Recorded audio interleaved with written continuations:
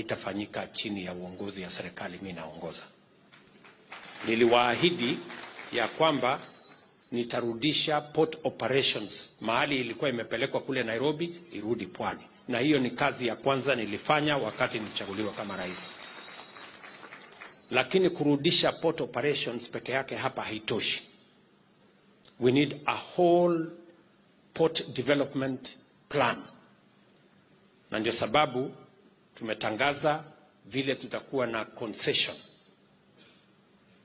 ya muda ambaye watu wataleta investment zao.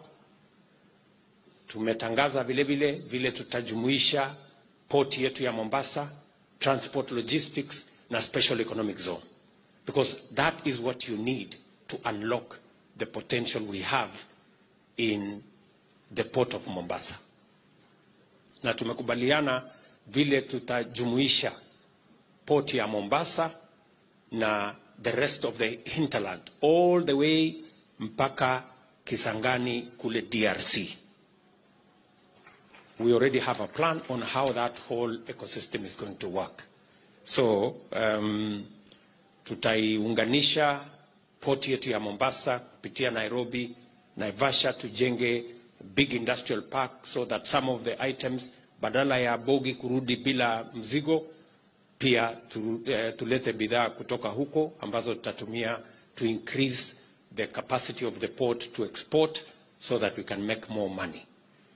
Na ndio sababu hiyo ile matatizo tulikuwa naye pale Dongokundu ya watu wanaoishi hapo, nimeweka mpango maalum bila ufisadi, bila ukora, bila watu matapeli kutusumbua. Wale watu tutalipa pale ni wale wako pale, sio watu wanaishi mahali pengine. Nyie mnanielewa?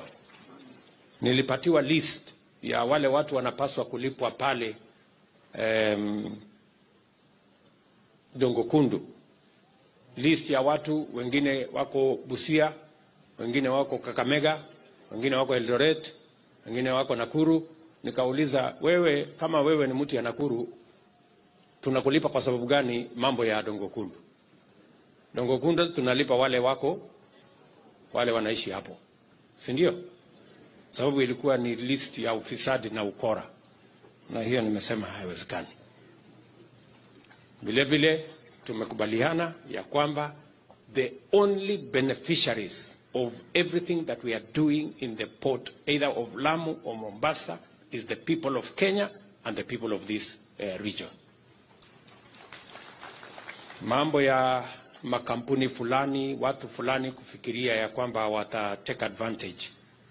Uh, I want to promise you that they will not, kwa sababu hiyo ndio kazi yangu kuchunga, na ikipatikana kasoro mtaniuliza mimi, sindio? Na kabla hamjaniuliza nitakuwa nimefieka watu wengi sana, so hakuna, vile wata hakuna vile watafaulu.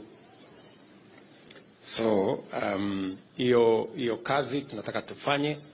Mpango yetu ni kwamba saa hizi tunaajiri watu elfu saba we can take it to between 35,000 and 50,000 people because